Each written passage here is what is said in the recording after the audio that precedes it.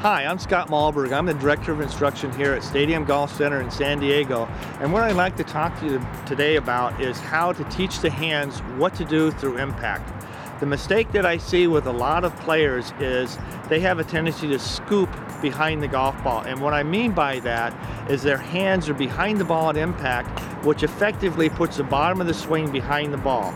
They hit fat shots initially and then they might hit thin shots because they lift up with the body or fold their arms through impact, which causes thin shots. What I'd rather see you do is lead with the handle through impact, and here's how you want to do that. When you strike the shot, you're gonna you're going to use first of all you're going to use a very lofty club like a sand wedge.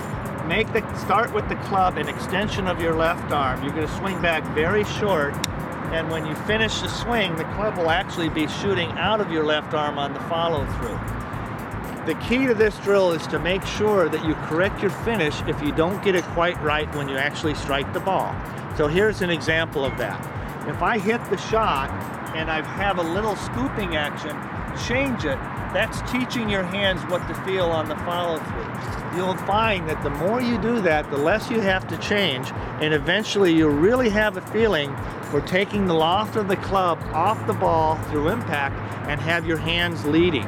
That's essential for making sure you can really strike the ball the way you'd like to off the ground, and that's called compressing the ball, which is striking down on it. I hope that helps you hit the ball first without hitting the ball fat.